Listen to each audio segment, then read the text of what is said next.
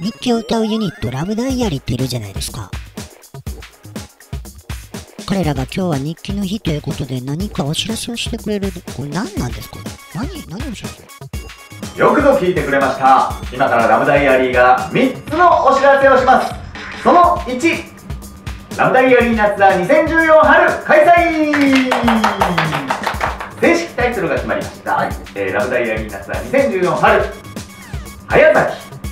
天祭りでございます。ありがとうございます。何かもらえそうな感じ。もらえそう。白いお皿がもらえそうでもらえなそうなそのツアーどこへ行くかお願いします。行きましょう。仙台名古屋大阪東京新潟。ました日本地図表現しました、えー、ツアーでは皆さんからの日記も募集しましてその日旅のあなたの日記ソングも作ります。こちらの方チケットが2月15日より一般発売です。よろしくお願いします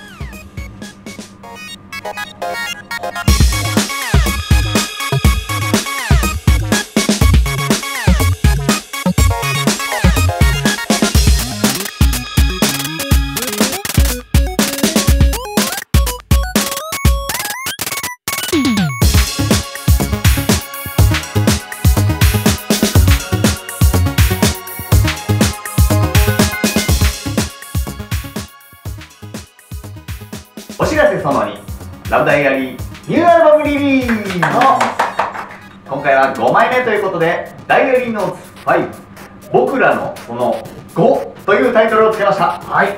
えー、まあ、日記というのは落ち込んだ日笑ってる日、うん、いろんな日がありますが、僕らはその5でできている。そうです、はい、こんなテーマで、はい、曲を作りました。はい。古田さんの今はどうだ？そんなことをやっております。そして子供が踊れるパンダリストのために作った曲「ワンダーパンダ」も収録しております。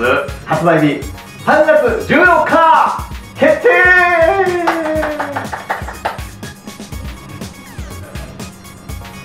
お知らせその3アルバムに関するビッグニュース。なんと今回のアルバム「僕らのその後に」うん、オレンジレンジのりょうくんが参加でございます。ありがとうございますコラボで。コラボですめちゃめちゃいい感じになりました、ね、なりましたのでお疑ってらっしゃる。それでは歌い終えてはつらつとしたりょうくんがこちら。はい。間違いなく参加してくれてる。と3人で。はい。になっております。えー、というわけでツアーとアルバムその春盛りだくさんでラブダイアリー動いておりますのでぜひよろしくお願いします。それで会いましょう